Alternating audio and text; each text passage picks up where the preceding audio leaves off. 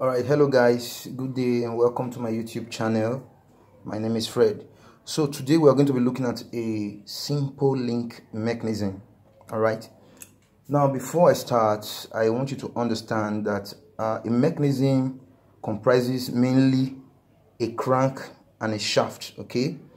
This shaft is also referred to as what? A connecting rod. Now this is a this is a case of a very simple arrangement of a link mechanism okay where you have the crank and the shaft all right? Now in this arrangement you're seeing or you're looking at all right we have a crank let's call it ab all right? The crank here and a shaft. Now the rule is this crank rotates about this point here. Rotates about this point while the shaft at this other end slides in guard here okay? So as this crank rotates the shaft slides in guard all right? So there is a rotational motion at this point of the crank while there is a to and fro movement at the other end of the what? Of the shaft. Now the question is if there is a point p let's say there's a point here on the on the shaft or the connecting rod okay? If there is a point here and this crank rotates one revolution all right? What will be the profile of this point here okay? So those are the questions that are usually associated with what? Link mechanism. So i'm going to show you how to draw the locus of a point uh, on the shaft of a link mechanism. Okay take a look at this example. Now it says the locus of a point p all right? The locus of a point p on a simple link mechanism which consists of a rotating crank ab so this is the rotating crank AB. Pin jointed to a connecting rod. So it is pin jointed to a connecting rod at this point B. Alright. To a co connecting rod BC. So this is the connecting rod BC. Which freely slides in guard at the other end C. So at this other end C here. Okay. It slides along this guard here. Alright. Can be determined by using construction method or paper trammel method. All right, but we are going to focus on construction method. All right, all right. So now, if this crank AB rotates one revolution, what would be the profile of this point B, of the point P? Sorry. Okay, let me quickly explain that. Now, let us assume okay that this is the what the initial position of the what of the link mechanism. All right? Now as it rotates this point changes position on the crank. All right? So what profile are you seeing? All right? So using construction method i'm just quickly going to show you how to go about it. Okay so the question is what would be the profile of the point p if AB moves one what revolution all right? So let us uh, illustrate using the arrangement here all right?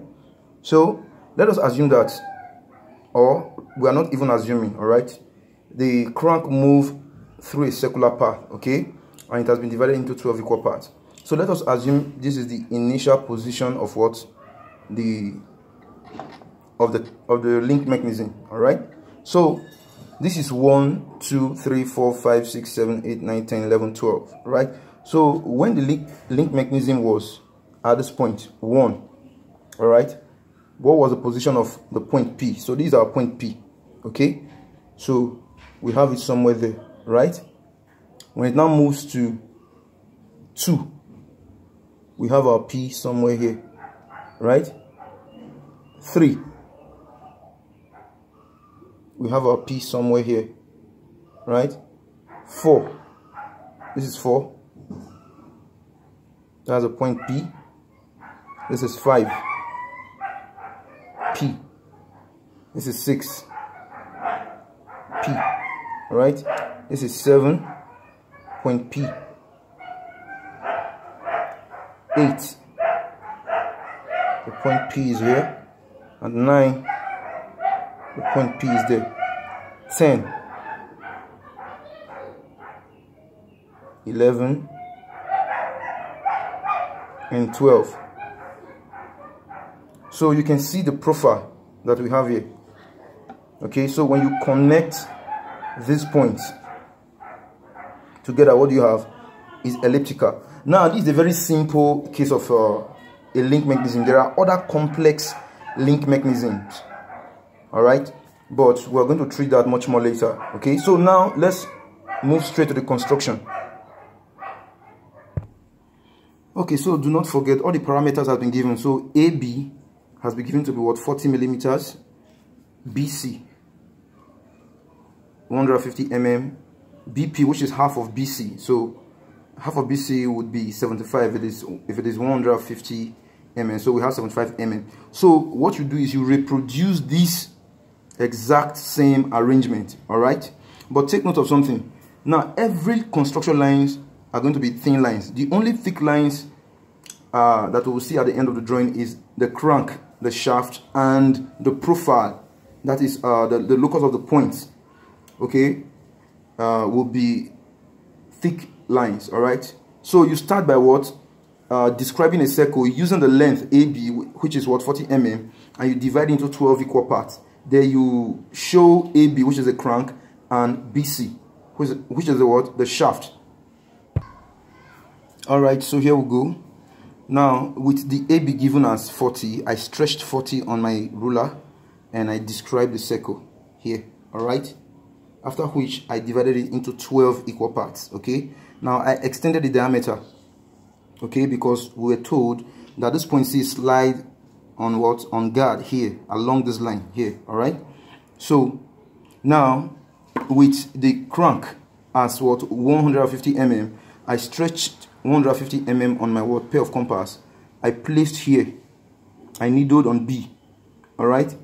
And I made an arc here all right? So BC is what 150 mm then I measured one sorry 75 mm here to give me the point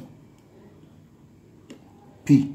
So you can see this is what 75 mm so how do we locate other points of P? Okay so here you are going to need two pair of compasses or if you have a pair of divider that's fine. Now uh, stretch BP okay and keep it fixed okay bp 75 so i have bp here. So here i already have what? Uh bc all right?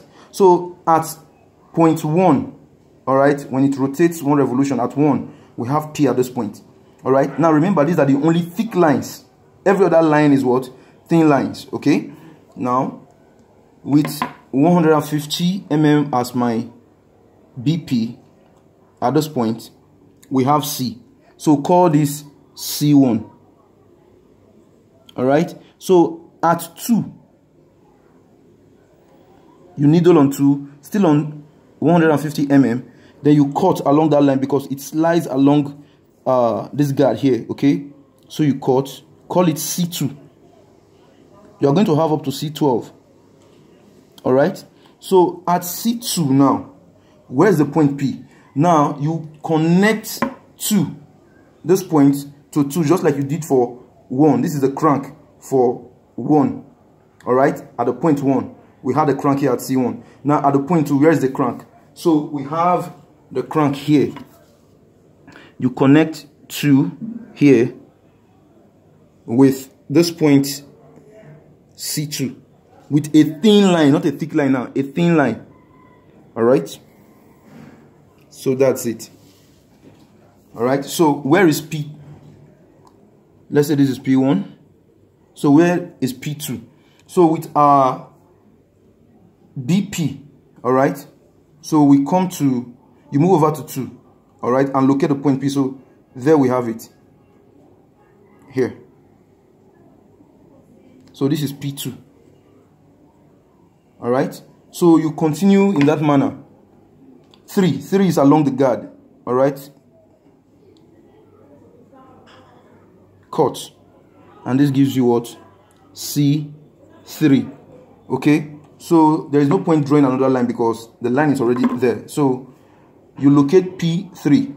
Remember your P3 is what? 75. Fixed. All right. So there we have it.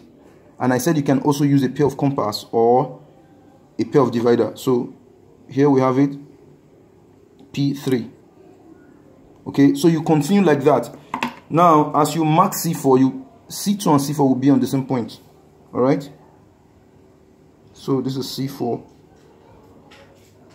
so we call it c4 right? Connect the shaft of c4 with a thin line. This is c4 with a thin line you connect. All right then you locate the point. P4 with same 75 so there we there we have it p4 so you continue in that manner. Okay so if you continue in that manner this is what you will have at the end of the day okay? So remember p5 this was what? 5 all right? 6 this is 6 so while you are locating the crank for 5 you locate the point p5 all right? For 6 you cut remember you are cutting along the guard. All right so for 6 you have this c6 then you locate 6 and for 7 and 8 and 9 and 10 to 12 so what do you do next? You connect the points with a flexible curve or a French curve. Alright so there you have the ellipse the curve okay? Alright now if you know you like this video you found it helpful do not forget to hit the like button and also the subscribe button. If you have any question feel free to drop your comment. All right thanks